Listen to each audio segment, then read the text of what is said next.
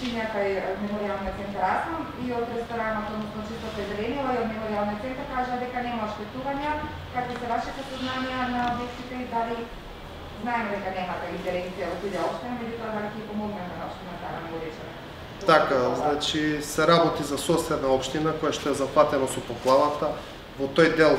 од таа општина, општина Куманово, преку јавното предпријатие Чистото и зеленило располага со одредени објекти. Сега за сега она што имаме како информација дека објектите во внатрешниот дел не се зафатени, меѓутоа има одреден е, е, нанос од вода околу објектите и доколку има потреба и доколку имаме согласност за тоа, нормално е дека Обштина Куманово ќе интервенира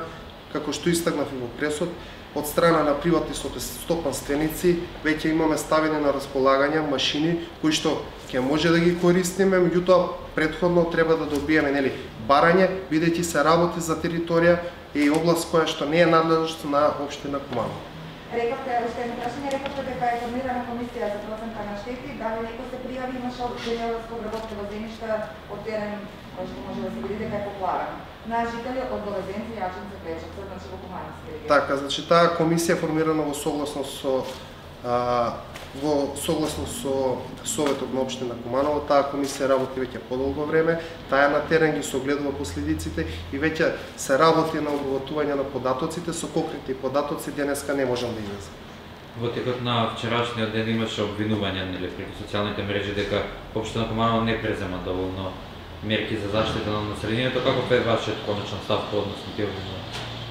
Значи, согласно надлежностите што се на општина Куманово и во делот на заштита и уредување на речното корито во планскиот опфат, каде што денеска и во изминатите денови нема излевање, ние немаме никакви проблеми. Она што не е наша надлежност, а е директна надлежност на АД водостопанство, ние дури денеска добивме одредени информации институционално и на Обштинскиот штаб за заштита и спасување беше донесена одлука дека ќе биде формирана трочлена комисија која што допрва ќе ги утврдува причините, последиците за доведување до ваквата состојба со што ќе се превземат соодветни мерки. И уште едно прашање, каква е моменталната состојба, да има ли излевање? Во момент во моментов имаме излевање на три критични точки кои што беа и во впрочем, во текот на вчерашниот ден, она што го има како информација дека водата полека се повлекува, но за жал очекуваме во текот на утрешниот ден нови врнеши. Благодарам.